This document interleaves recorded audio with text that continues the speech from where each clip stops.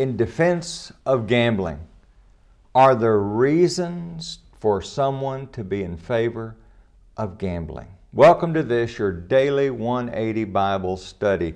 180 seconds, three minutes, Monday through Friday of pure Bible study. We appreciate so much you participating in this study, and we appreciate so much you sharing this with your friends. No, I'm, I'm not in favor of gambling.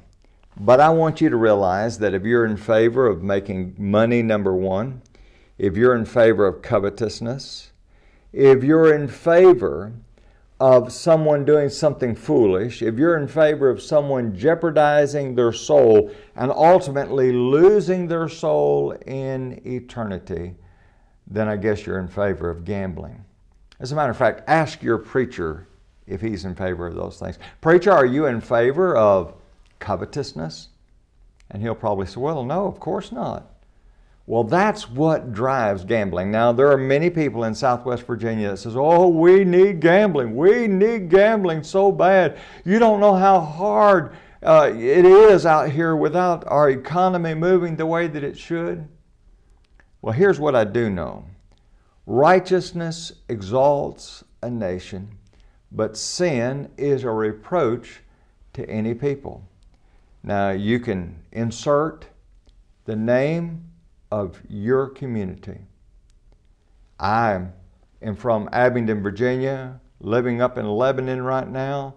I could insert righteousness exalts Abingdon, Virginia, but sin is a reproach to any people. Lebanon, Bristol City, Virginia. And let me ask you this, folks. What good is going to come from promoting covetousness and promoting things? Now, listen to me because we're going to be talking about this next week. Promoting things that hurt people. Now, I tell you, liberal minded people, I'm talking about people who might consider themselves politically liberal.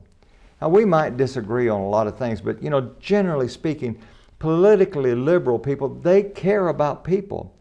And the one thing that we're going to be talking about next week is gambling hurts people. How in the world could we be in favor of something that hurts people?